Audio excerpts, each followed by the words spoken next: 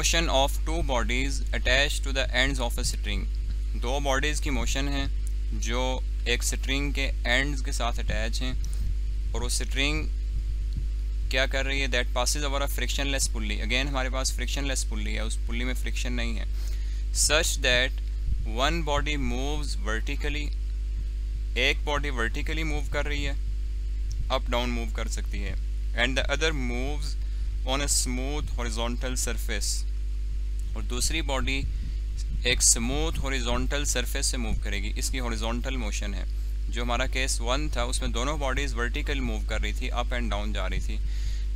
Second case two जो है, इसमें एक बॉडी मूव करेगी वर्टिकली अप एंड डाउन और दूसरी बॉडी जो स्ट्रिंग के दूसरे एंड के साथ अटैच है हॉरिजॉन्टली मूव करेगी। और ये बॉडी हमने रखी हुई किस चीज़ पे है? या उसकी मोशन किस सरफेस पे है? On a smooth horizontal surface smooth surface है। स्मूथ सरफेस का मतलब ये है कि जो जिस सरफेस के अंदर कोई फ्रिक्शन ना हो। जैसे हमने ये पुल्ली कंसिडर की थी फ्रिक्शनलेस ऐसे ही इस सरफेस को भी हम कंसिडर करेंगे फ्रिक्शनलेस अगर फ्रिक्शन होगी तो उसकी वजह से एक और फोर्स आ जाएगी, जो हम यहाँ पे उसको कंसिडर नहीं कर रहे। आइडियल केस ले रहे हैं although practically real life में ऐसे पॉसिबल नहीं है, लेकिन अपने अपनी कैलकुलेशन को मैथमेटिकल डेरीवेशन को सिंपलीफाई करने के लिए हम ये सर्फेस भी स्मूथ ले रहे हैं फ्रिक्शन लेस ले रहे हैं और ये पुल्ली भी फ्रिक्शन लेस है। सेम कॉन्सेप्ट है सेम स्टेप्स हैं जो हमने फॉलो किए हैं केस वन में for vertical motion consider two bodies A and B of masses M one and M two respectively attach the end of an inextensible string again हमारे पास inextensible string है string के अंदर extension नहीं आएगी और उस स्ट्रिंग के एंड के साथ दो मैसेज अटैच हैं। A बी जिसका मैस एम वन है और दूसरे का मैस एम टू है। हम सपोज़ कर रहे हैं कि बॉडी ए जिसका मैस एम वन है, वो डाउनवर्ड मूव कर रही है। जैसे हमने वहाँ पे assumption ली थी कि body A is greater than body B M one is greater than M two यहाँ पर हमारी एजम्पन क्या है? जिस बॉडी को हम बॉडी ए कह रहे हैं और जिसको हम एम वन कह रहे हैं, जिसका mass M one vertical move करेगा। दिस इज़ अ कंडीशन और यही हमारा कॉन्सेप्ट यूज़ होगा न्यूमेरिकल प्रॉब्लम सॉल्व करते हुए, क्योंकि हम अपने डेरिवेशन स्टार्ट करने लगे एम वन उस बॉडी को ले रहे हैं जो वर्टिकली मूव करेगी, और एम टू उस बॉडी को लेंगे जो हॉरिजॉन्टली मूव करेगी। तो हमने जब फार्मूलाज भी यूज़ करने होंगे तो हम जो बॉडी वर्टिकल मूव कर रही होगी, उसको M1 कहेंगे, और जो बॉडी हॉरिजॉन्टल मूव कर रही होगी, उसको M2 कहेंगे। ये बॉडी मूव यहाँ पे स्मॉलर और ग्रेटर की कोई डिस्कशन नहीं है। यहाँ पे हम नहीं एज्यूम कर रहे कि ए लार्ज है या बी लार्ज है। हमारी एजम्पन मोशन की है कि मोशन की डायरेक्शन क्या है। ये बॉडी बी भी बड़ी हो सकती है और उसके बावजूद ये मोशन आ सकती है। हम प्रैक्टिकल परफॉर्म करेंगे लैब्स में और उसमें हम देखेंगे कि बॉडी बी का मैस ज़्यादा होने के बावजूद भी ये वर्टिकल मोशन आ जाएगी, ये ऑटोमेटिकली इस बॉडी ए की वजह से ये अप डाउन मूव करेगी।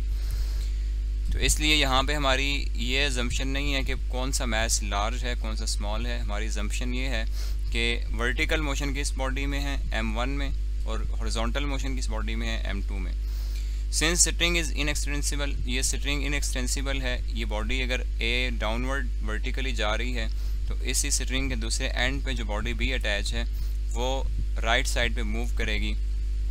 As the pulley is frictionless hence tension will be the same throughout the string ये पुल्ली फ्रिक्शन लेस है, कल डिस्कस हुआ है। इसी रीज़न की वजह से ये स्ट्रिंग जो है, इस स्ट्रिंग के अंदर टेंशन सेम है। ये जो मैस वन डब्ल्यू वन की वजह से जो स्ट्रिंग में टेंशन आ रही है, वही टेंशन यहाँ पे भी होगी, जो इस मैस टू के करीब ये अटैच हुई हुई है स्ट्रिंग के साथ। तो ये टेंशन इस पूरी स्ट्रिंग में सेम है। A moves downward therefore its weight M one G is greater than tension now we come to the mathematical derivation हमने एज्यूम किया है कि बॉडी ए डाउनवर्ड डायरेक्शन में जा रही है। डाउनवर्ड डायरेक्शन में जा रही है तो इसका मतलब ये है कि इसकी नेट फोर्स की डायरेक्शन भी डाउनवर्ड है। और उसका मतलब ये है कि मैस वन की वजह से जो वेट डब्ल्यू वन है उसकी वैल्यू ज़्यादा है एज़ कंपेयर टू टेंशन उसी, उन्हीं स्टेप्स पे हम नेट फोर्स लिखेंगे। Net force on body A is equal to M one G minus T means W one minus T ये हमारी नेट फोर्स है on body A according to Newton second law second law of motion के मुताबिक net force M one G है जो यहाँ पे, वो किसके इक्वल होगी? It will be equal to mass time acceleration और इस बॉडी का मैस है एम वन उसको मल्टीप्लाई करा दें एक्सिलरेशन से। Now we are going to write the net force on body B body B पे कितनी फोर्सेस एक्ट कर रही हैं? एक तो फोर्स है, जैसे यहाँ पे वेट की वजह से मैस की वजह से वेट एक फोर्स आई है जो डाउनवर्ड डायरेक्शन में है। ऐसे ही बॉडी बी का मैस है और उसका वेट है और वो वेट डाउनवर्ड एक्ट करेगा, ये हम कल डिस्कस कर चुके हैं। उसकी वजह से जो फोर्स है वो एम टू जी है और ये वेट एक टेबल के ऊपर रखा हुआ है। तो इसका मतलब ये है कि अगर एक्शन फोर्स डाउनवर्ड है तो टेबल भी अपवर्ड डायरेक्शन में ऑपोजिट एक फोर्स रिएक्शन फोर्स एक्ट करेगी। एक्शन और रिएक्शन जो न्यूटन थर्ड लॉ है, उसके मुताबिक ये आर फोर्स आएगी ऑपोजिट टू दिस वेट तो एक फोर्स हो गई है, ये एम टू जी और दूसरी फोर्स है रिएक्शन फोर्स जो इस हॉरिजॉन्टल सरफेस की वजह से इस बॉडी में आ रही है। तीसरी एक फोर्स है, जो इस ब्लॉक के साथ, इस मैस टू के साथ ये स्ट्रिंग अटैच है। इस स्ट्रिंग के अंदर भी टेंशन फोर्स है। ये ब्लॉक नीचे जा रहा है, इस स्ट्रिंग में टेंशन फोर्स आई है। और हमने डिस्कस किया कि tension will remain same throughout the string तो यहाँ पर भी एक टेंशन फोर्स आएगी क्योंकि वो स्ट्रिंग इस ब्लॉक के साथ अटैच है। और उसकी डायरेक्शन क्या है? राइट वर्ड है। ये राइट वर्ड क्यों है? अभी हम इसको डिस्कस कर लेते हैं। जो दो फोर्सेस हैं एम टू जी और रिएक्शन इसके ऊपर टोटल आ गई हैं तीन फोर्सेस हमने देखना ये है कि मोशन किस डायरेक्शन में है। एक्चुअली हमने नेट फोर्स लिखनी है। नेट फोर्स की डायरेक्शन किधर होती है? जिस डायरेक्शन में एक्सिलरेशन आ रहा होता है। बॉडी ए डाउनवर्ड जा रही है, जिसकी वजह से बॉडी ए राइट वर्ड मूव कर रही है। तो इसका मतलब ये है कि नेट फोर्स की डायरेक्शन भी राइट साइड पे है। जैसे हमने डिस्कस किया था कि बॉडी ए डाउनवर्ड जा रही है तो नेट फोर्स की डायरेक्शन भी डाउनवर्ड है। जो हमारा केस वन था, उसमें बॉडी भी अपवर्ड डायरेक्शन में जा रही थी और उसके लिए हमने नेट फोर्स का कहा था अपवर्ड डायरेक्शन में। बॉडी भी राइट साइड पे जा रही है इट मीन्स कि इसकी नेट फोर्स राइट साइड पे है। इसी वजह से इसमें एक्सिलरेशन भी राइट साइड पे आ रहा है। बॉडी ए का एक्सिलरेशन डाउनवर्ड है, जिसकी वजह से बॉडी बी राइट साइड पे मूव कर रही है, इसका एक्सिलरेशन राइट साइड पे है, और इसकी नेट फोर्स की डायरेक्शन भी राइट साइड पे है। अब हम डिस्कस करते हैं कि ये जो फोर्स हैं, दो फोर्सेस हैं एम टू जी और रिएक्शन फोर्स क्या इनका कोई इफ़ेक्ट है इस बॉडी के ऊपर? इन दो फोर्सेस का इस बॉडी के ऊपर कोई इफ़ेक्ट नहीं है। क्यों? क्योंकि ये बॉडी वर्टिकली मूव नहीं कर रही। वर्टिकली मूव अगर ये करती तो इसका मतलब फिर इस रिएक्शन फोर्स या एम टू जी जो फोर्स है वेट टू इसमें से कोई चीज़, कोई वैल्यू कोई फोर्स अगर बड़ी होती तो ये बॉडी वर्टिकल भी मूव करती। इसके अंदर वर्टिकल मोशन नहीं है। इस डायरेक्शन में एक्सिलरेशन कोई नहीं है। इसका मतलब ये है कि दोनों फोर्सेज एक दूसरे को कैंसिल आउट कर रही हैं। ये बॉडी वर्टिकल मोशन के हिसाब से रेस्ट में है। तो जब रेस्ट में एक बॉडी हो तो उसका एक्सिलरेशन ज़ीरो होता है। हम सिर्फ़ वर्टिकल मोशन की भी बात कर रहे हैं। तो वर्टिकल मोशन में जो वर्टिकल फोर्सेस हैं एम टू जी और रिएक्शन फोर्स ये दोनों एक दूसरे को कैंसिल आउट कर रही हैं। हम इसको लिख सकते हैं कि reaction force is equal to W two ये दोनों इक्वल हैं और इन दोनों को अगर हम ऐड करें, इसका रिज़ल्ट ज़ीरो है, क्योंकि दोनों फोर्सेस सेम हैं। अगर reaction force weight ten newton है तो रिएक्शन फोर्स भी टेन न्यूटन है। Ten minus ten will be zero तो हम इन दो फोर्सेस को कंसीडर फिर नहीं करेंगे क्योंकि हमारी इस डायरेक्शन में मोशन नहीं आ रही।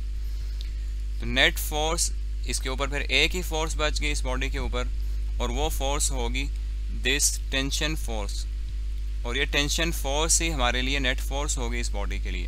तो net force on body B will be only tension force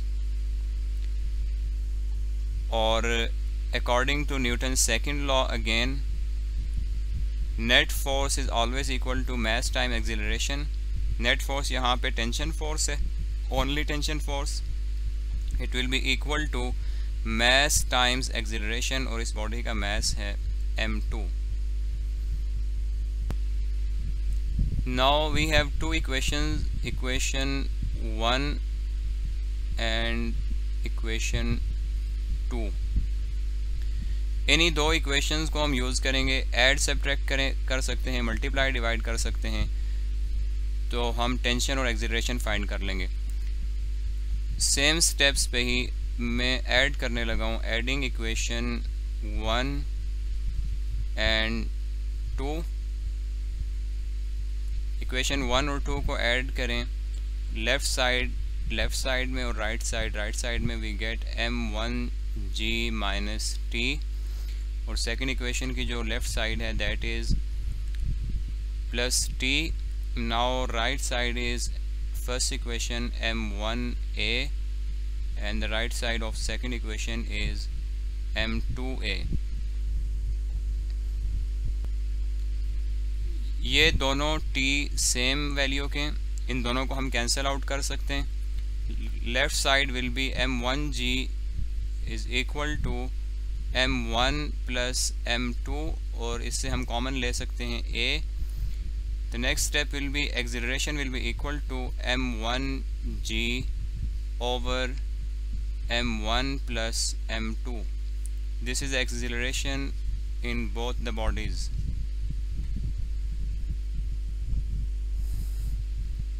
now हमारे पास सेकंड स्टेप हम दो इक्वेशंस को डिवाइड भी कर सकते हैं, जैसे हमने केस वन के लिए किया था।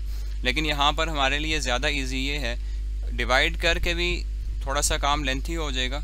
उससे इजी ये है कि हम ये ए की वैल्यू किसी भी एक इक्वेशन में पुट कर दें सब्सटीट्यूशन मेथड जो मैथमेटिक्स में आपने पढ़े सब्सटीट्यूट कर दें ए को यहाँ पे सब्सटीट्यूट कर दें, या फिर इस इक्वेशन में सब्सटीट्यूट कर दें। हमारे लिए ज़्यादा इजी ये है कि हम यहाँ पे ए को सब्सटीट्यूट कर दें।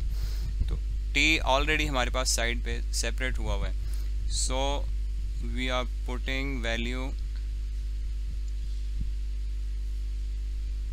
a in equation 2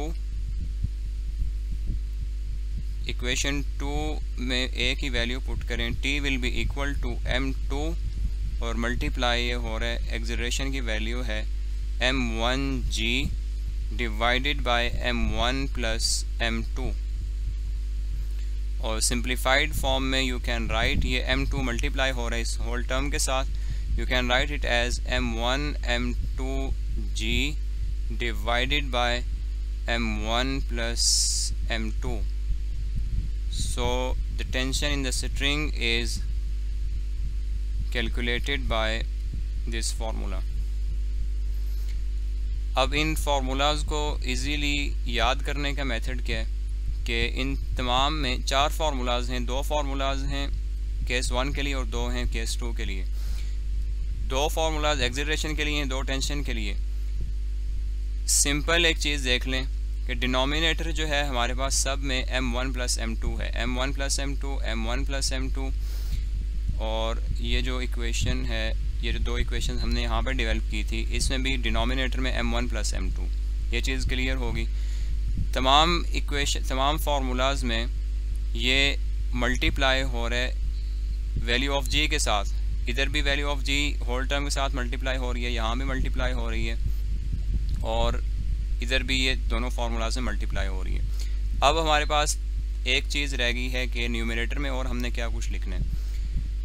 एक्जिलरेशन में डिनोमिनेटर में m1 one plus m two है न्यूमिनेटर में m1 one minus m two सिर्फ़ साइन चेंज कर दिया m2 का। और जो एक्जिलरेशन सेकंड केस के लिए है, उसमें m2 की टर्म नहीं है। दैट सिंपल टेंशन के लिए याद रखने का क्या इजी मेथड है? कि जो टर्म थी हमारी न्यूमिनेटर वाली, वो टू टाइम्स थी m one m two g two times यहाँ पे आया था। हमने ऐड कर दिया था two m one, m two g. यहाँ पे जस्ट वन टाइम है टू यहाँ पे नहीं लिखा हुआ। तो T is equal to m one m two g over m one plus m two that's easy method to memorise this formulas इसी फार्मूले को हम यूज़ करेंगे न्यूमेरिकल प्रॉब्लम 3.7 और ये चीज़ जहन में रखें कि न्यूमेरिकल प्रॉब्लम के साथ अगर आप फिगर बनाएँगे that would be very easy आप आप इजीली उसको अंडरस्टैंड कर सकेंगे। Now two masses 26 kg and 24 kg are attached to the ends of a string एक मैस है ट्वेंटी सिक्स के जी और दूसरा मैस है ट्वेंटी फोर के जी मैं अभी वन टू इसके साथ नहीं लिख रहा, कौन सा वन है और कौन सा टू है। स्टेटमेंट कंप्लीट करने के बाद लिखेंगे। Which passes over a frictionless pulley वो स्ट्रिंग पास कर रही है एक फ्रिक्शनलेस पुल्ली से। 26 g is lying over a smooth horizontal table 26 g जो मैस है, वो स्मूथ हॉरिजॉन्टल टेबल के ऊपर रखा हुआ है। स्मूथ हॉरिजॉन्टल टेबल पे हमने कौन सा मैस रखा था? दैट वाज M2 ये स्मूथ हॉरिजॉन्टल टेबल है। इसके ऊपर मैस जो था वो M2 था। इसका मतलब ये है कि यहाँ पे हमें बता दिया गया टेबल वाला मैस है M2 26 kg so this 26 kg is m2 and the other one will be m1 24 kg, this is kg newton यहाँ पे गलत लिखा हुआ है, इसको करेक्ट कर लें। 24 kg mass is moving vertically downward. जो वर्टिकली डाउनवर्ड जा रहा है वो m1 है, हमने पहले लिख दिया। Find the tension in the string and acceleration in the bodies string में टेंशन फाइंड करनी है और बॉडीज़ में एक्सिलरेशन फाइंड करना है। वही चीज़ें हैं जो हमने फाइंड की हैं न्यूमेरिकल प्रॉब्लम 3.6 में। अब हमारे पास फार्मूला है। एक्सिलरेशन अगर फाइंड करना है वी हैव एम अभी हमने फार्मूला डिराइव किया है। M one g over m one plus m two और टेंशन का जो फार्मूला लिखना है, अभी हमने उसका इजी मेथड देखा है। क्या तरीका है कि जस्ट हमारे पास यहाँ पे टू नहीं होगा, बाकी पूरी टर्म सेम होगी। टू ये हम नहीं लिखेंगे इसके लिए।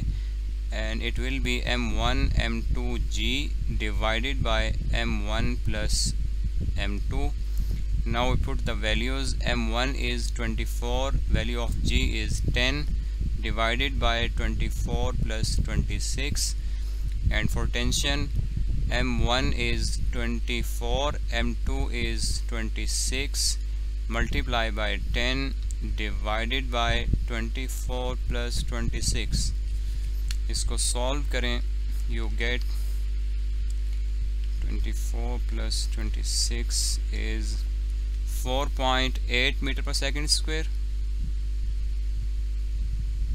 and for tension you get you just multiply it with 26 more it will be 124.8 newton और इसको अगर राउंड ऑफ़ करें you get 125 newton